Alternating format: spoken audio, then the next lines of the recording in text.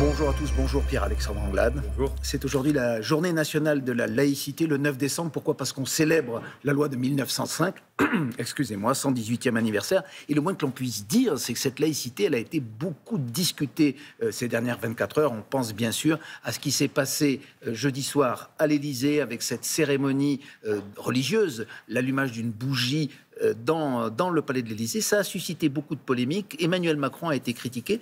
Qu'en a pensé le député que vous êtes? Moi, je pense que cette polémique est excessive.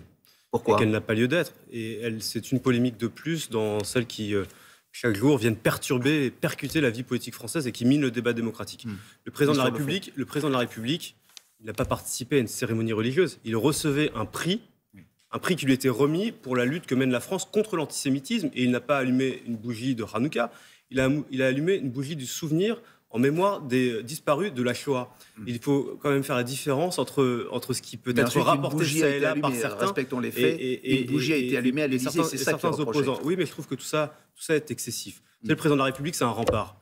Il est un rempart contre ceux, les intégristes de tout poil, qui veulent mettre à mal la laïcité. Il est un rempart contre ceux qui visent notre pays, parce que je rappelle que la France est menacée par, par les terroristes, notamment parce qu'elle applique ce principe de laïcité.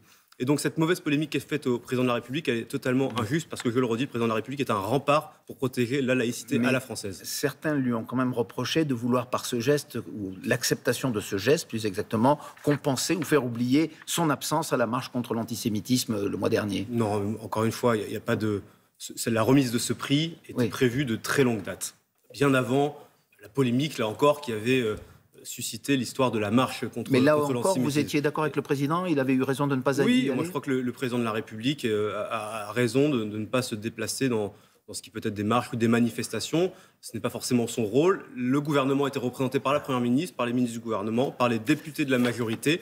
Je comprends la polémique qu'il y avait pu avoir alors, mais celle d'aujourd'hui est pour le coup réellement déplacée. En tout cas, cette polémique, elle, est- elle s'inscrit dans un contexte de tension en France. Et cette tension, elle vient de ce qui se passe au Proche-Orient avec la poursuite de la guerre à Gaza. Les États-Unis, cette nuit, ont posé leur veto euh, contre une résolution qui demandait un cessez-le-feu humanitaire. La France est favorable à ce cessez-le-feu.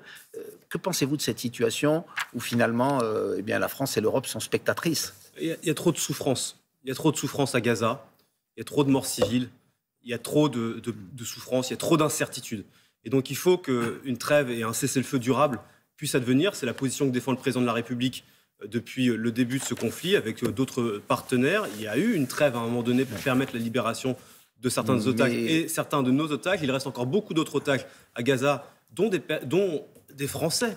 Ne l'oublions pas. Et donc, il faut que la, la paix puisse revenir pour protéger les civils et pour permettre la libération des otages. Ça me semble absolument indispensable. Mais n'avez-vous pas l'impression que, encore une fois, la- euh, Emmanuel Macron s'était rendu sur place, euh, d'autres pays européens font entendre leur voix, mais ce sont des incantations. Le- le- le- la seule puissance qui finalement a un- une véritable influence euh, sur l'État hébreu, ce sont les États-Unis. Vous en êtes conscient aujourd'hui. Les États-Unis ont un rôle évidemment extrêmement important dans la région, comme ils ont un rôle important partout dans le monde. Et on peut le Mais voir que peut faire également l'Europe? Vous êtes président de Mais la Commission France- des Affaires mais la européennes. France- mais la France, la France a un rôle extrêmement important au Proche-Orient. C'est le pays, après les États-Unis, qui a le plus d'influence au Proche-Orient. Nous avons des soldats au Liban à travers la FINUL, nous avons des soldats en Irak, nous sommes présents dans la région, nous avons une action diplomatique qui est extrêmement résolue. Je rappelle que le président de la République, Emmanuel Macron, est le seul chef le seul d'État et de gouvernement occidental qui, est, quand il est allé au Proche-Orient, a vu les Israéliens, a vu les Palestiniens et a vu les dirigeants arabes. Et donc tout cela, ça permet d'aboutir à la libération de nos otages,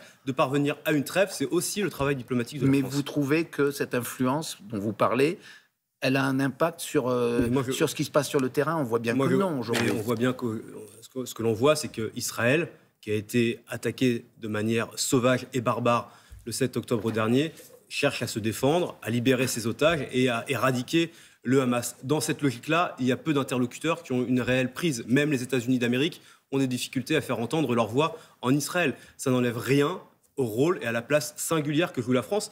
Et je pense qu'on devrait, nous, Français, arrêter de toujours rabaisser le rôle qui est le nôtre. La France est un grand pays, une grande puissance diplomatique, et elle occupe aujourd'hui une place importante au Proche-Orient. Est-ce que la France est un grand pays aussi sur un autre conflit, celui euh, d'Ukraine? On entendait dans le journal que Vladimir Poutine euh, annonce qu'il va se représenter euh, à, à la présidence de la Russie. Aujourd'hui, c'est un Vladimir Poutine qui semble, non pas plus puissant que jamais, mais qui semble intouchable par les Occidentaux et, une situation en Ukraine qui s'enlise. Qu'est-ce que vous préconisez, sachant que les Européens vont décider la semaine prochaine d'ouvrir ou non formellement euh, l'adhésion de l'Ukraine à, l'Union européenne? Ce qui se passe en Ukraine est un test. Est un test pour les Européens. Les Américains regardent, les Russes regardent, la communauté internationale regarde de la manière euh, dont nous allons réagir dans les jours et les semaines à venir face aux difficultés que rencontrent les Ukrainiens sur le terrain, parce que cette guerre est extrêmement dure, parce que Vladimir Poutine n'a aucune considération pour la vie humaine et qu'il envoie ses soldats euh, à la mort euh, comme dans une boucherie, eh bien, il nous faut aider les Ukrainiens d'un point de vue militaire et nous devons réarmer les Ukrainiens. C'est extrêmement clair. il faut, il faut que les Européens collectivement poursuivent l'effort qui a été le leur, qui a été important, qui était un réveil pour les Européens qui avaient cessé de penser la puissance. Il faut que les Européens se poursuivent le soutien militaire, il faut qu'on poursuive le soutien financier. Et puis, il faut qu'on envoie un signal politique extrêmement clair aux Ukrainiens la semaine prochaine à l'occasion du, Conseil européen. Ce signal politique, c'est de dire que nous allons ouvrir les négociations d'adhésion avec ce pays parce que l'Ukraine est un pays européen. Vous savez, l'Ukraine, elle n'est pas attaquée pour ce qu'elle fait. Elle n'agresse, ne menace personne. Elle est attaquée pour ce qu'elle est, c'est-à-dire un pays libre, démocratique, mm. et qui a fait le choix de se tourner vers l'Europe. Monsieur Anglade, les pays européens, y compris Emmanuel Macron, ont semblé assez euh, frileux, en tout cas sur la procédure d'adhésion de l'Ukraine à l'Union européenne pour l'instant. C'est loin d'être fait. Mais vous avez raison de dire que mm. si des négociations d'adhésion étaient ouvertes, l'Ukraine ne rentrerait pas demain dans l'Union européenne. C'est un long processus. Il y a des réformes à mener en Ukraine qui sont importantes, qui doivent continuer d'être menées, même si les Ukrainiens font des efforts. Il y a des réformes à mener en Europe et il y a des discussions politiques qui sont longues. Mais vous pensez que ça peut changer le cours de la guerre, ça? C'est un signal politique. C'est un signal politique important que les Ukrainiens attendent parce qu'ils sont attaqués, parce qu'ils ont fait le choix de se tourner vers l'Europe et nous devons tendre cette main. Alors on revient dans un débat franco-français. Euh, dans 48 heures va commencer le moment de vérité pour la loi immigration de Gérald Darmanin à l'Assemblée.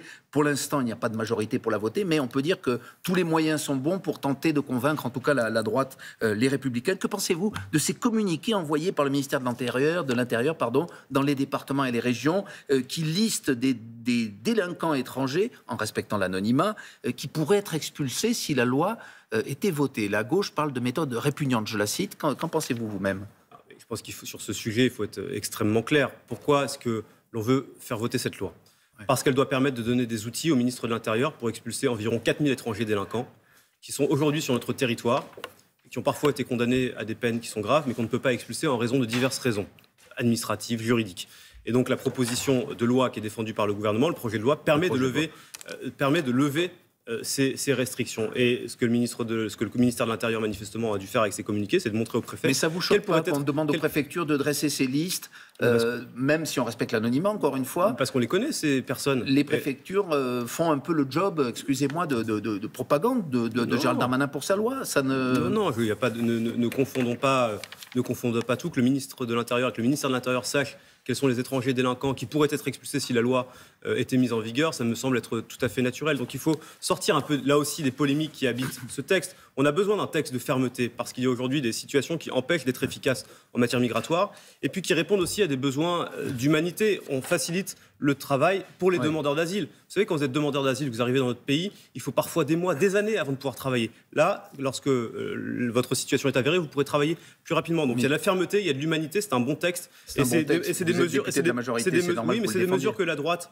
a portées pendant 30 ans et des mesures que la gauche a portées pendant 30 ans. Bah, nous, on, va les mettre en œuvre. Et pourtant, Eric Ciotti a dit il y a quelques jours qu'il ne voterait pas ce texte. Ça vous inquiète pas? Et vous savez, pour faire un, nous sommes en situation de majorité relative à l'Assemblée nationale. C'est le choix des Français. Il n'y a plus de majorité absolue. Et qui dit majorité relative dit responsabilité absolue aussi pour les oppositions. Les Français ont fait le choix de faire en sorte que personne n'ait le pouvoir total à l'Assemblée. C'est pour qu'on puisse travailler ensemble. Et donc nous, on a tendu la, droite, la main à la droite, on a tendu la main à la gauche. Et maintenant, il faut qu'on trouve un compromis sur ce texte. Mais pour trouver un compromis, il faut être deux. Et s'il y avait un article 49.3 au final, comme euh, le scénario ne l'exclut pas aujourd'hui? Moi, je ne me place pas dans ces dispositions. Je suis convaincu qu'il y a une majorité à l'Assemblée euh, sur ce texte. Il faut qu'on travaille. On a deux semaines de débat qui vont commencer lundi à 16h, qui vont nous emmener jusqu'au 23 décembre. Et donc on doit être capable de trouver cette majorité parce que c'est un texte utile et attendu par les Français. Vous serez en tout cas dans l'hémicycle vous-même lundi. Merci beaucoup, Pierre-Alexandre Anglade, président de la Commission des Affaires européennes. Merci C'est la suite de Télématin.